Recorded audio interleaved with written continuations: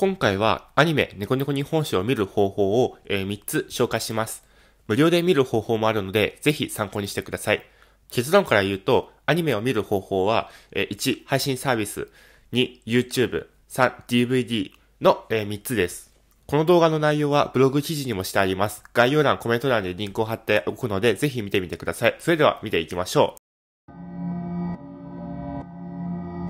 はい、まず一つ目。一つ目は配信サービスです。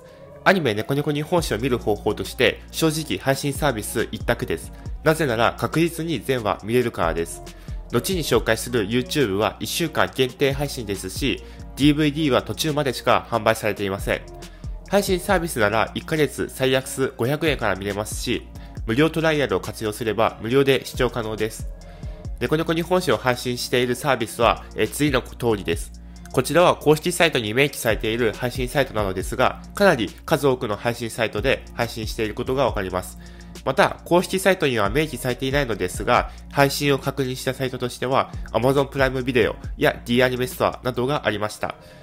まあ、大体の配信サイトで、まあ、配信されていると覚えておいてください。はい、え二つ目です。二つ目は YouTube です。無料で視聴する方法として YouTube が挙げられます。猫猫日本史公式 YouTube チャンネルが存在し、ここでは毎週金曜日にアニメを1週間限定で2話公開しています。また、特定のお話は永久公開しています。さらに、毎月22日に特別な映像コンテンツを配信しているので、まあチャンネル登録をお勧めします。はい、えー最後、3つ目。3つ目は DVD です。アニメ猫ニコ日本史の DVD が販売されており、全16巻プラスボックス版全3巻があります。